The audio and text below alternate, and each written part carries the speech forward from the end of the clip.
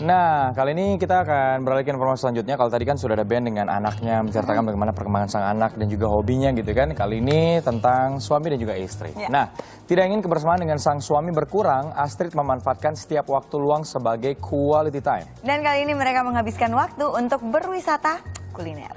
Yum.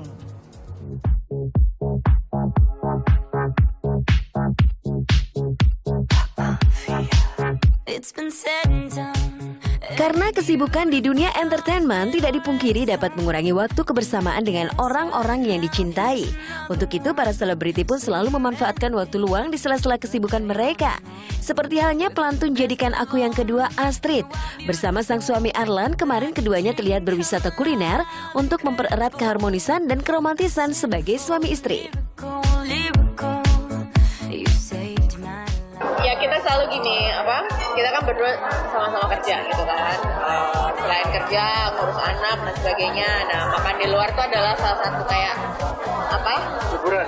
Ya hiburan kita selain nonton selain apa gitu. Jadi salah satunya adalah makan makan bareng berdua quality time berdua gitu.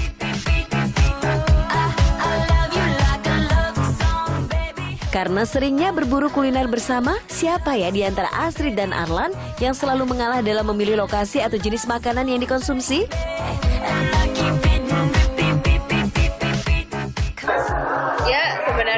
Yang lebih suka ngalah sih dia gitu ya. Gitu jadi pokoknya dia lagi kalau mau aku nanya gitu ya mau makan apa? gitu ya. Dia udah jawab A gitu ya. Ah kayaknya B aja deh gitu. Oh ya udah deh gitu. Ya.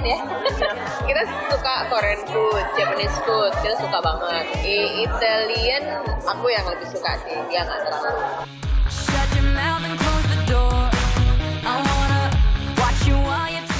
Quality time seperti ini memang selalu dilakukan oleh pasangan yang menikah pada 18 November 2011 untuk sekedar berdiskusi ringan dan tentunya berkumpul bersama.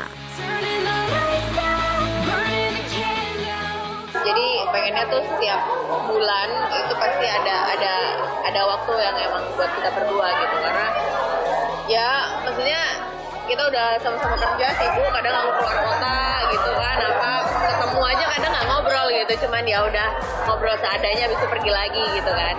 Jadi begitu ada momen khusus kayak gini oh lagi kosong sama-sama kosong sama-sama nggak ada. Ini kita berusaha untuk yuk yuk makan yuk gitu atau apa gitu Iya, memang meluangkan waktu bersama itu kan salah satunya salah satu cara dari kuliner, makan bersama atau bisa berolah, berolahraga bersama. Kalau Domi sport. biasanya spending time dengan pasangan gimana? ah nonton TV. Oh, nonton ya. nonton ya itulah. TV, nonton film gitu aja Beda-beda sih. kan, beda-beda kan. Ada yang lebih beda-beda. suka di, jalan um, traveling. Betul. Yang em, Yang penting itu, maksudnya- dicari yang bisa jamnya disamakan. Betul. Maksud tujuannya kan supaya bondingnya lebih Yes. makin erat lagi ya.